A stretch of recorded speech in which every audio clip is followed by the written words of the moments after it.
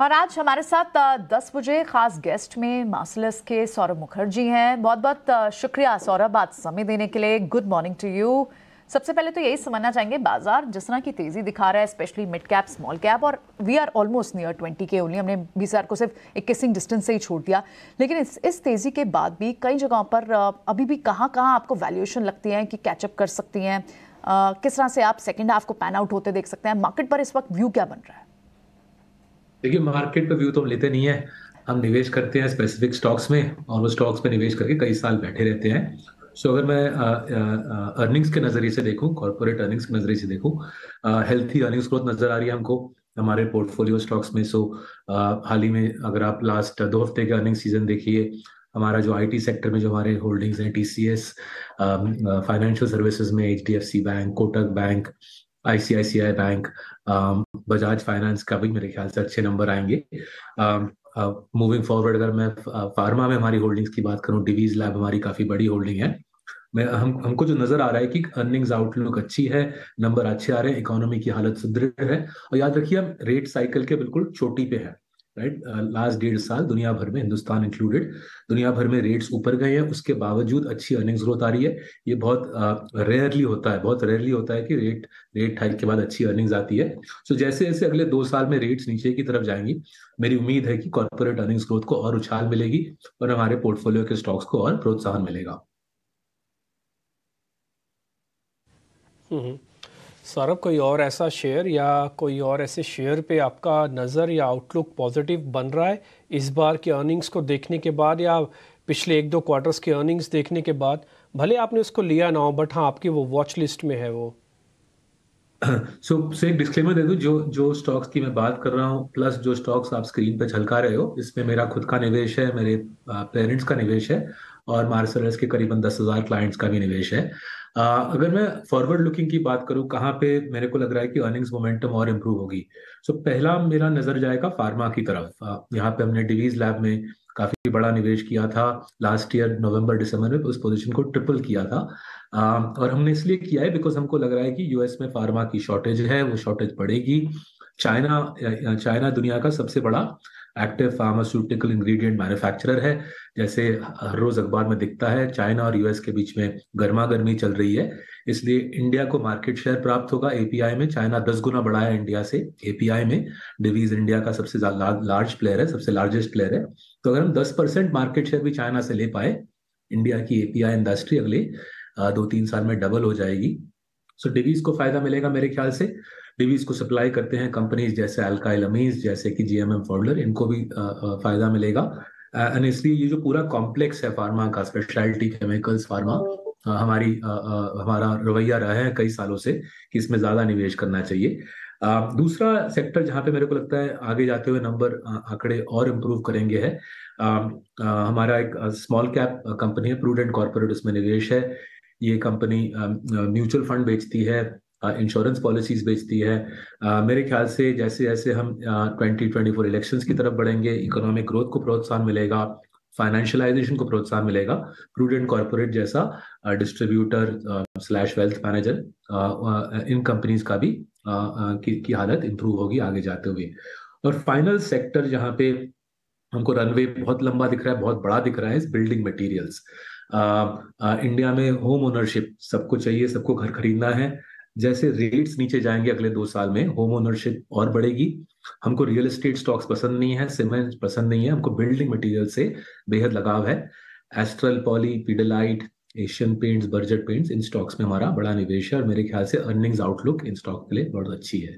Right या सौरभ बिल्कुल हमने देखा कि आपने प्रूडेंट ऐड भी किया आपने किंग्स ऑफ़ कैपिटल पोर्टफोलियो में। सौरभ आपने टीसीएस पर तो व्यू दिया, क्योंकि वो उसमें आपकी पोजीशन है, लेकिन ओवरऑल आईटी पर इस वक्त टेक्नोलॉजी स्टॉक्स पर व्यू क्या बनाए इन्वेस्टर्स अभी आपने भी कहा, जैसे कि जो इंटरेस्ट रेट है वो शायद पीक पर है, और इस एंटिसिपेशन में आईटी स्टॉक्स चले भी हैं। अगर यहाँ से आई इंटरेस्ट रेट का सिनेरियो पॉज का होता है, या फिर गिरने का रेट रेट डिक्लाइन का भी सिनेरियो आगे बनता है तो स्पेस में कितना ज़्यादा कॉम्प्रिहेंसिव या फिर कितना सपोर्टिव इन्वायरमेंट आईटी के लिए बनता हुआ दिख रहा है? या फिर आपको लगता है कि अभी भी एक दो क्वार्टर की पेन है? देखिए, मेरे को पता नहीं, एक दो क्वार्टर की पेन है नहीं। मेरे को तो टीसीएस के नंबर्स में कुछ पेन दिखता नहीं है। ना तो मेरे को फोर्थ क्वार्टर के नंबर में दिखे, ना ही मेरे को फ़र्स्ट क्वार्टर के नंबर में दिखे। हर क्वार्टर टीसीएस 10 बिलियन डॉलर की डील विंस अनाउंस कर रहा है 25 परसेंट की ऑपरेटिंग मार्जिन अनाउंस कर रहा है 16-17 परसेंट अर्निंग्स ग्रोथ अनाउंस कर रहा है। तो इसमें कोई कमज़ोरी की कोई गुंजाइश नहीं है मेरे ख्याल से। We are living in the age of technology technology का जमाना है दुनिया के जो 500-600 बड़े कंपनीज़ हैं उनको क्लाउड माइग्रेशन करनी है उनको एआई चाहिए आ, उनको आ, आपके मेरे ज़िंदगी के साथ जुड़ने के लिए और टेक्नोलॉजी का इस्तेमाल करना है। और ज़ाहिर है वो इंडियन आईटी सर्विसेज़ के पास ही आएँगे वेस्ट में। बारिंग एक्सेंचर वेस्ट के पास इस प्रकार का विशाल आईटी सर्विसेज़ प्रोवाइडर रियली है नहीं। सो so, मेरे को समझ नहीं आता किस लिए लोग आईटी सर्विसेज़ में इन आउट करते हैं स्पेकुलेशन किस लिए करते हैं। आईटी टेक्नोलॉजी का जमाना है अगले 10-20 साल technology technology companies IT services companies के लिए बहुत सारा काम रहेगा। इसलिए हम जुड़े रहते हैं टीसीएस के साथ और कुछ खास दिमाग नहीं भोड़ते कि एक दो तो क्वार्टर वीकनेस आएगी या नहीं आएगी। ऑनेस्टली मेरे को ये काफ़ी अजीब सा लगता है लोगों का टीसीएस के साथ स्पेक्यूलेशन करना। सौरभ सर, अगर हम कंजम्पशन वाले स्पेस की बात करें तो आईटीसी देखिए, अब रिकॉर्ड हाइस पर ट्रेड कर रहा है, पाँच सौ रुपये के आसपास के भाव हो गए हैं। आपकी नज़र कहाँ पर है? किसी को अगर खपत वाले स्पेस में कुछ खरीदना हो तो आप क्या सुझाएँगे? देखिए एफएमसीजी का जो कहानी है उससे हम थोड़ा दूर रहे। बारिंग नेस्ले हमारे पास दूसरे एफएमसीजी स्टॉक्स नहीं है। सो आईटीसी का जो रनअप है वो हम मिस कर गए हैं। आ, हमने दो साल पहले आईटीसी भेजा था और लक वुड उसके बाद आईटीसी खूब चली है। नेस्ले में हमारा निवेश इसलिए है कि बच्चों का दूध में ये मार्केट लीडर है जैसे सबको पता है। बच्चों की दूध कोई माँ बाप कोई बजट बजट बजटरी वजह से बच्चों की दूध कम नहीं लेते ज़्यादा नहीं लेते स्टेडी ग्रोथ रहती है नेस्ले की बारह तेरह परसेंट टॉप लाइन पंद्रह सोलह परसेंट बॉटम लाइन कैश का भंडार विशाल पावरफुल कंपनी इसलिए नेस्ले में हम जमकर निवेश करते हैं। उसके अलावा मेरे को एफएमसीजी में थोड़ा सा Uh, मेरे को थोड़ा डर है। कोविड uh, के बाद एफ़ uh, का जो सोसाइटी का जो निचला श्रेणी है उसकी खरीदारी थोड़ी कम हुई है। हम, जैसे मैंने थोड़ी देर पहले बोला, हमारी फोकस है थोड़ी ज़्यादा बिल्डिंग मटेरियल्स पर और रिटेल में हमारे पास रिटेल में हमारे पास टाइटन में बड़ा बड़ा सा होल्डिंग है। आगे जाते हुए शायद कुछ एक दो रिटेलर्स हम और और ऐड करें। वी मार्ट भी हमारे स्मॉल कैप पोर्टफोलियो में है। वी मार्ट के नंबर्स भी जहाँ तक मेरे को दिख रहा है इंप्रूव हो रहे हैं। कोविड से बाहर आ रहा है वी मार्ट धीरे धीरे बट रिटेल रिटेल जिस प्रकार के प्रोडक्ट्स आपके दर्शक खरीदते हैं रिटेलर के थ्रू उसका हम फ़ायदा उठाने की कोशिश कर रहे हैं। आपके दर्शक के नीचे वाली जो श्रेणी है वहाँ पे हमको थोड़ा चिंता है। आ, आ, उनके पास जॉब्स है या नहीं थोड़ा समझ नहीं आ रहा और पॉकेट में कितने पैसे हैं उसके ऊपर थोड़ी सी हमको आशंका है। हम्म। सौरभ ये ऑटो कंपनीज़ पर आपका टेक क्या है? आ, क्योंकि क्योंकि आप लॉन्ग टर्म के लिए लेते हैं और लॉन्ग टर्म के हिसाब से देखा जाए तो इसमें ई व्हीकल वाली स्टोरी काफ़ी समय से चल भी रही है। आप तो बहुत सारे लोगों को पता भी है इसके बारे में। तो आपका इस पर टेक क्या है? देखिए, इंडिया में कोई ऑटो ओईएम है नहीं, जिसके पास कोई कॉम्पिटिटिव एडवांटेज हो खास। तो आप टू व्हीलर्स में बात करें या फोर व्हीलर्स में बात करें या सीवीज कमर्शियल व्हीकल में बात करें, हमारे देश में ऑटो कंपनी सारे मोटा मोटी एक दूसरे की तरह ही है। कोई एक दूसरे से ज़्यादा आगे नहीं है। एंड इसलिए क्या होता है, इनकी across across a ten year cycle एक तेज़ी और मंदी का साइकिल अगर आप जोड़ दें, ये निफ्टी को आउट परफॉर्म करने में बहुत स्ट्रगल करते हैं। So barring Eicher Motors barring Eicher Motors हमारे पास कोई ऑटो ओईएम पोर्टफोलियो में है नहीं। ऑटो एंसिलरी में भी हमारे पास ज़्यादा होल्डिंग्स नहीं है, केवल सुपरजीत है। और ईवी में मेरे को कुछ खास ऐसा दिखा नहीं है इंडिया में ईवी में, जिससे लग रहा है कि कोई इंडिया में ईवी में कॉम्पिटेटिव एडवांटेज हासिल कर पा रहा है। सारे के सारे ओईएम सेम ही काम कर रहे हैं ईवी में। इसलिए ऑटो में एक सेक्टर है जो वाइल्ड इकोनॉमिक उछाल में ये अच्छा परफॉर्म करता है कॉम्पिटेटिव एडवांटेज वाले खिलाड़ी थोड़े कम है इस सेक्टर में।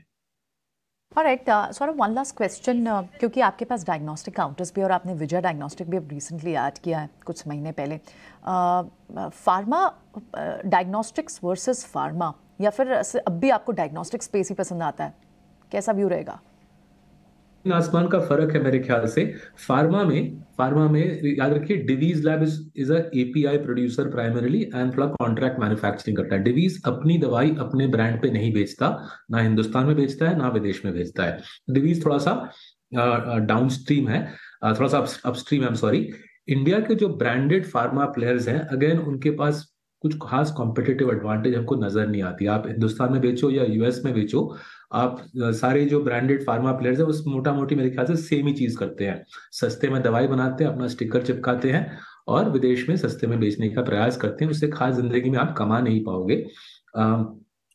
Diagnostic players on the other hand अगर आप उनके रिटर्न ऑन कैपिटल के आंकड़े देखें, तीस, पैंतीस, चालीस परसेंट वहाँ पे कॉम्पिटेटिव एडवांटेज भारी है। नॉर्थ में नॉर्थ और ईस्ट में डॉक्टर लाल का वेस्ट में मेट्रोपोलिस का साउथ में मतलब साउथ में मतलब हैदराबाद आंध्रा तेलंगाना के रीजन में विजय डायग्नोस्टिक्स का।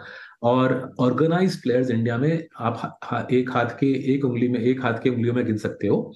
कितने organize players Indian diagnostics place में है? स्पेस विशाल है करीबन 10 बिलियन डॉलर की इंडस्ट्री है। केवल 20 परसेंट इंडस्ट्री ऑर्गेनाइज प्लेयर्स के हाथों में है, इसलिए अनऑर्गेनाइज टू ऑर्गेनाइज शिफ्ट काफ़ी भारी रहेगी।